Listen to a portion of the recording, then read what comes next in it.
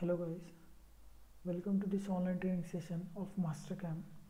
Today we will see how to solve the milling problems on the Mastercam. So to get started, open up the Mastercam. Here we are using the X5. So now don't need to worry about any other uh, softwares, any other versions like X6, X9, all are the same, but little bit difference in the GUI. Okay, to to solve to start with.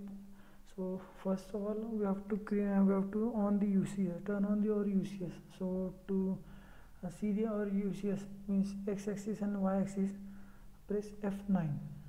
So in this way we can see our UCS. Uh, the problem statement is like this we have to create this model of we have to create this plate of 100 100 by 80 mm then here here are the uh, four holes of 10 10, 10 mm diameter and all are the through, throughout holes. Okay.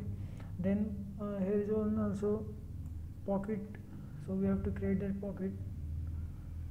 So at first we will create this rectangle of 100 by 80 so go to the Mastercam click on this rectangle enter the values that is horizontal value is 100 then vertical value is 80 select the anchor point and select the origin. Zoom out this model. In this way we have created this rectangle. Now the next step is to create these four holes.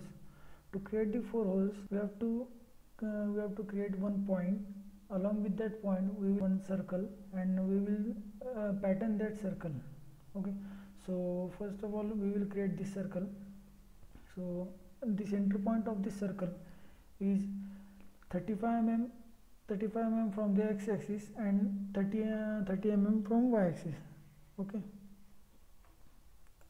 So we will put that we will take uh, we will take the circle.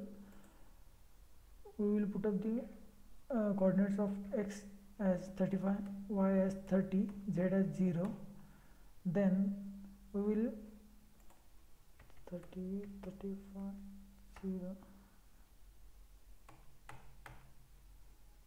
then we will enter the radius and sorry diameter of 10 here you can see that we have created this one circle.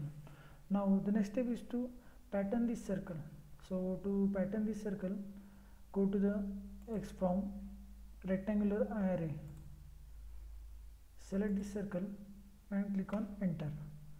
After entering uh, one dialog box is open.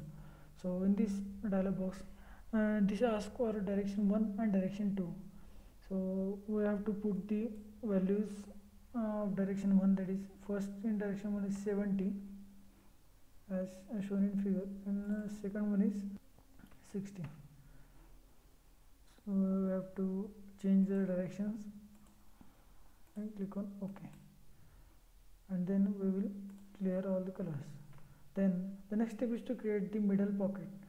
So to create the middle pocket go to the uh, go to the create menu. Or you can create from this uh, here also. So select the create rectangular shape uh, option then from this dialog box select this kind uh, obround shape then enter the enter the dimensions of 50 by 20 and the radius as 10 select the anchor point and place it on the surface. Uh, click on ok. Now in this way we have created this geometry. Okay now our next step is to select the machine type so to select the machine type go to the machine type mill and default. So we have selected the machine center